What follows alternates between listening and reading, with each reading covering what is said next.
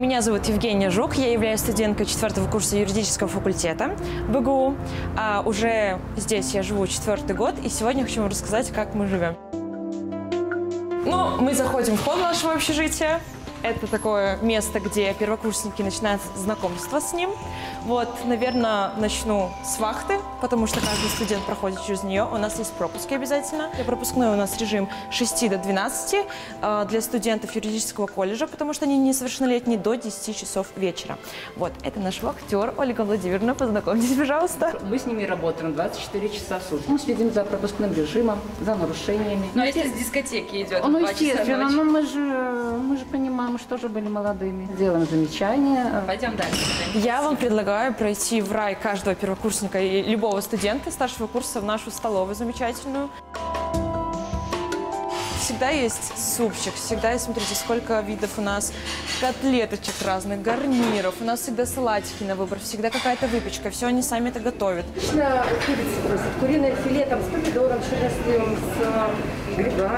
Сейчас мы пойдем с вами в кабинеты нашей администрации педагогического состава общежития. Когда мы заселяемся, а, ребята обязаны сюда подойти, чтобы оформить временную регистрацию. А Дальше у нас здесь кабинеты воспитателей. Вот у нас, например, Вера Викторовна, наш воспитатель. Бывают проблемы с соседями. Например, первая, вторая смена, там будильники громко звонят, поговорите с соседями. То есть очень разные воспитатели решают проблемы. Студенты, которые э, приезжали, приходили раньше, они немножко были в бытовом плане более устроенные, более адаптированные. Банально не могут пожарить яйцо. Ну, приходится быть мамой, кем угодно. Мы заходим к нашей заведующей общежитии, к Чернеславе Анатольевне. Если что-то уж случается, какое-нибудь прям непредвиденное обстоятельство, конечно же, мы решаем сначала сами его, но если вдруг это стихийное бедствие, Стихийное бедствие у меня каждый раз, когда я прихожу на работу в 8 утра, в полдевятого, и мне докладывает э, дежурный по общежитию. Значит, эти поздно пришли в 005, эти там пришли э, не, не совсем в таком состоянии. Всех ознакомливаем с правилами проживаниями. Есть на китайском, на английском, на туркменском.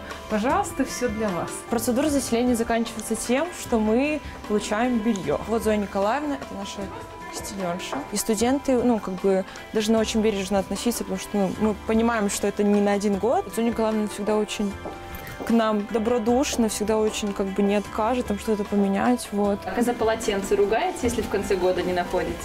Ну да. Полотенце самое дорогое, я помню в общежитии. Понятно, что не пить, не курить, кальяны не хранить. А, нарушаем? Нарушаем. Ну, конечно же, в состоянии алкогольного опьянения нельзя прийти. Что вам еще такого рассказать? Самовольные перестройки бывают в общежитии. Студенты должны все равно понимать, что они находятся вместе, так скажем, не на своей территории полностью. Все равно это университет. Это теннисный зал. Ребята сюда приходят, записываются в журнале. Вот, играют здесь, проводят время. Я вам предлагаю пройти в наш, мой блог.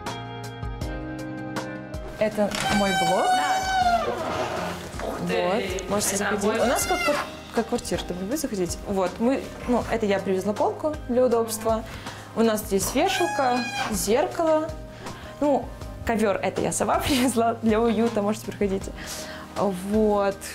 Ну, э, очень большая комната на самом деле. Два шкафа, ну, то есть огромные шкафы.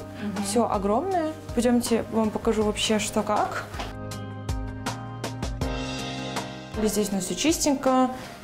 Ну, все свое. Холодильник у нас прекрасный, потому что сроки были очень маленькие. Давай, давай. А может, не будем смотреть? Я просто слежу за фигурой. Ага. Я творог с бананом, у меня там, ну вот, помидорки и еще филе э, куриное в морозильнике. На этом я с вами прощаюсь, а теперь Джамаль, наш иностранный студент-первокурсник, вам расскажет об общежитии. А, Здравствуйте, меня зовут Джамаль, я прилетел из солнечного Ташкента. А, Я студент первого курса а, факультета философии и социальных наук.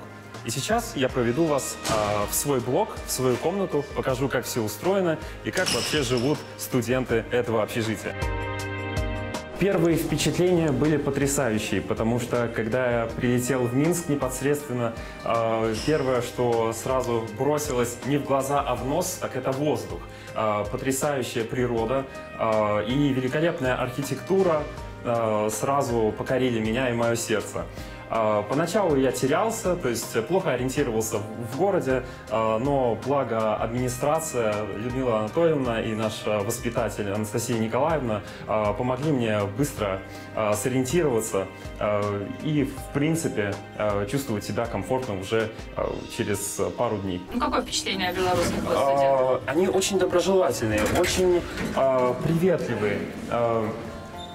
То есть я не сталкивался с какой-то грубостью или агрессией в мою сторону. А, По всем вопросам мне помогали, а, меня направляли.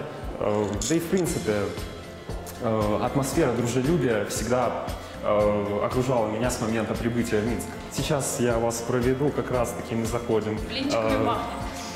Да, здесь много чем пахнет.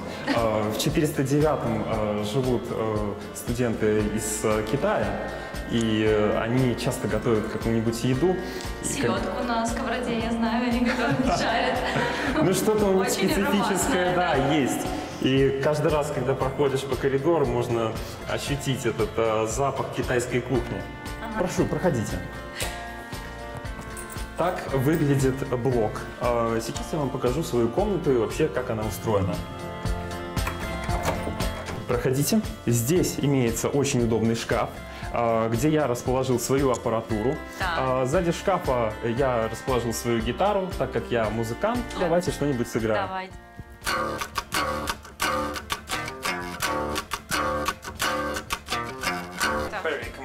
Это э, мой китайский сосед. Он Так. э, прибыл с Китая. Э, его зовут Перри. А, ты, доброе утро. Доброе утро. Здравствуйте. Здравствуйте, да. Ага. Ну, как, как ему здесь? uh, how do you like um, Minsk uh, and uh, this hostel? How do you like? How do you feel in there? Uh, I think the sky is blue. Он говорит, «Э, небо очень голубое. Uh, and uh, I think uh, my neighbor is very good. Thank you, thank you. Похвалил меня. Uh, Так вот выглядит наша кухня. Э, Здесь мы обустроили все. Начиная от полок, мы их забили самыми необходимыми продуктами. Кофе, в первую очередь, а, масло, мука, э, сахар, соль, макароны. Здесь есть все для того, чтобы питаться хорошо и Ну, вкусно. как тебе белорусские продукты? Белорусские продукты шикарны. Те же самые фрукты, овощи. Здесь намного сочнее, я не знаю, как-то какой-то вкус вот с земли вытащили, понимаете? Вот прям сразу чувствуется. Помидоры так помидоры. Здесь э, наши э, продукты, такие как картошка, морковка, мы все кладем сюда. Э, здесь пока мы ничего не забили. Холодильник. Давайте покажем э, холодильник. Это Наш холодильник, так он выглядит. Мне очень понравился квас, в принципе, э, и производители, э, то есть кваса здесь отличные. То есть я сразу купил э, две баклашечки. Вот так он выглядит. Что на обед у тебя будет? А, На обед у нас вот есть такой вот замечательный суп, который приготовил мой сосед Макар. Э, Хочу, кстати, отметить его потрясающие кулинарные способности. Наверное, после армии, потому что... Да, он после армии. А как вы догадались? Вы знаете. Мне рассказали. А, ну все, это суп. Выглядит сейчас он может быть и не очень, но на вкус он потрясающий, да. Какой-то день я готовлю, то есть, например, сегодня ужин буду готовить я. Что? Нужно будет э, купить мне только говядину. А, Я буду готовить говядину э, с обжаркой в помидорах. Как девчонки белорусские. А, Они все потрясающие. Они все красавицы, честно. Без преувеличений. Таких красивых женщин, в принципе, и э, девушек я не видел. То есть я сразу обратил на это внимание. Маме сказал, что женишься уже здесь. А, ну, в принципе, мама, наверное, догадывается. Отлично, пошли с мамой знакомиться. Давайте.